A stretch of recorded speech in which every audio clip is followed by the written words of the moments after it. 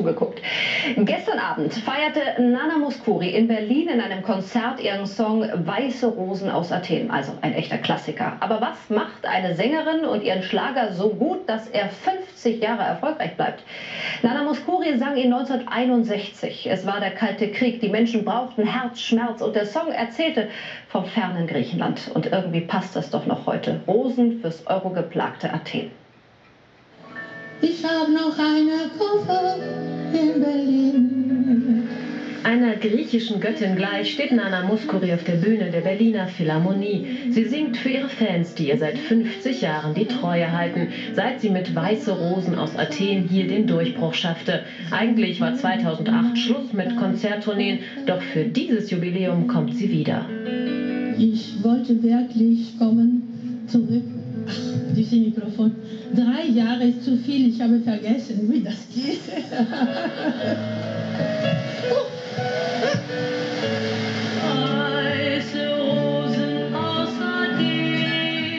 Dieses Lied macht Nana Muskuri weltberühmt. 50 Jahre ist das her. Die singende Sekretärin, wie sie manchmal wegen ihrer auffälligen Brille genannt wird, kann aber mehr als nur Schlager. Sie singt Jazzstandards. Und Folklore wird ein internationaler Star. 250 Millionen verkaufte Tonträger, Lieder in elf Sprachen.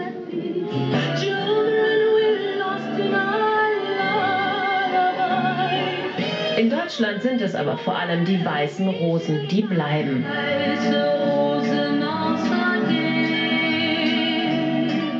Ich liebe das Lied, wie es ist. Und wenn die, das Publikum mag ein Lied, ich vergesse, das ist eine Schlager, weil für mich, es gibt nicht Bad wie heißt Schlecht Musik, es gibt immer gute Musik. Und ich, ich war sehr ehrlich, wenn ich singe meine Weiße Rosen, wie wenn ich singe eine sehr intellektuell oder schwieriges Text.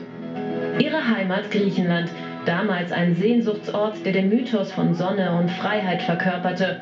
Die Probleme, die das Land seit der Finanzkrise hat, machen der heute 77-Jährigen zu schaffen. Sie will den Menschen dort Mut machen, auf ihre Art, mit griechischen Volksliedern, die sie unter anderem mit ihrer Tochter Lenou singt. Seit ihrer Zeit als Europaabgeordnete hat sie mit Parteipolitik aber abgeschlossen. Ich finde manchmal, dass es gibt nicht so viel Gerechtigkeit. Und ich finde auch, dass die Probleme, die wir haben in Griechenland heute, sind gekommen von unseren ähm, politischen Menschen, äh, die Parteien und, und die äh, Regierung, dass sie hatten nicht äh, gut arbeitet.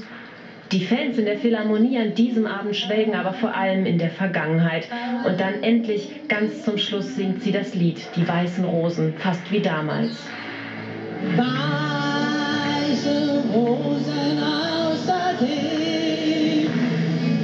Die Freundschaft, die ich habe in dieser Zeit gefunden, äh, hat geblieben, ist so ehrlich, so äh, treu. So, Deutschland für mich ist mein nächster Heim äh, nach, nach äh, Griechenland.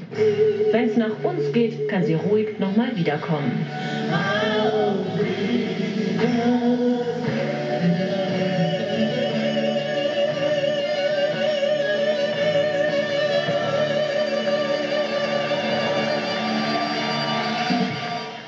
Weiße Rosen aus und für Athen. Eine schöne Metapher. Metapher. Damit schließen wir.